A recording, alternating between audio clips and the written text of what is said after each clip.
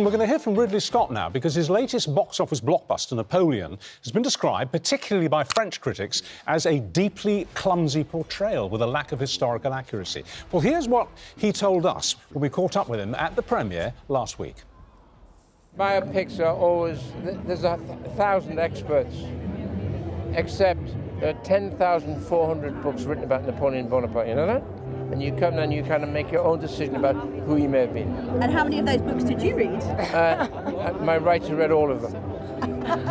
oh. Okay. But should films or TV shows have to sacrifice entertainment value for factual perfection? Filmmaker and activist Femi Nylander believes that we should retain historical accuracy. Absolutely. It's a, it's a prerequisite. And film critic Linda Marric says that there should be creative license for people to go to the cinema to be entertained. You've actually seen this movie. I have, yes. And, and were, you, were you entertained? I was very much entertained, and I, I think it's his best film since Gladiator, to be really? honest. That good? Yes, I. Do I, you mind? I Do you... adored it. Yeah. Now, did you know when you went to see the film mm -hmm. that the scene where he, uh, Napoleon shoots cannons at the pyramids uh, and the scene at the beginning when he watches Marie Antoinette being beheaded were made up? No. No, I didn't. I didn't know, and I didn't really care because I don't think that's the point. The point is to present a sort of a, a, his own interpretation of this really extraordinary character, and it's not really a film about sort of the accurate. It's not an accurate representation exactly of who he was, but it is a film about the character that he was, the person he was. He's sort of his dealings with Marie Antoinette, with the people around him.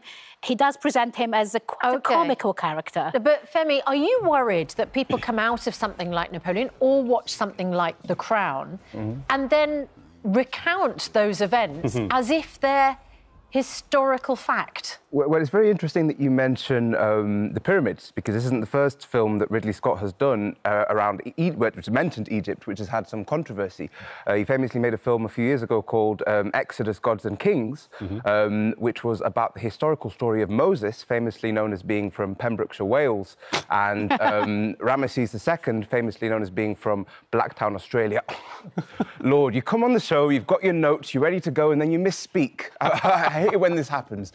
The reality is, of course, that the actor, Christian Bale, is from Pembrokeshire, Wales, and the actor, Joel Edgerton, is from Blacktown, Australia. Both as, as white as Warburton's bread, both obviously not from um, mm. Egypt. And yeah. when Ridley Scott was pressed on this, he said, oh, well, I can't have Mohammed so-and-so from such and such as the lead character in my film. The film ended up being banned in Egypt for being really? historically misrepresentative. So obviously, when it's about what wig someone's wearing, this, that, and the rest, mm. that's one question. When you've got an entirely white cast playing Egyptians, it becomes a lot more sinister. And again, when we look at some historical figures, in this case, Napoleon, it's a, it's, it's, uh, from what I understand, the film isn't too kind on Napoleon, but it doesn't necessarily mention the fact that he reinstated slavery in the Caribbean. Mm. But even within the UK, all of the Churchill films I've ever seen have taken a very positive yeah. slant on him and have never mentioned things such as the, the Bengal famine in India and some of the darker sides. That's not to say you can't mention the good sides, yeah. but when a film and when all the films about a certain individual within a certain space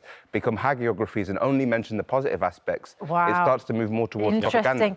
Femi Nylander and Linda Marriott, thank you both very much indeed. Femi, thank will you. you. go and see the film? Of course. It only came out in the UK today, so yeah, I didn't. No, yeah. I couldn't. I couldn't. Prepare. No, I know, but you you will even I will watch criticism. It. I will you'll watch still it. watch it. Interesting. Thank you both very thank much you. indeed. Time to watch Lorraine.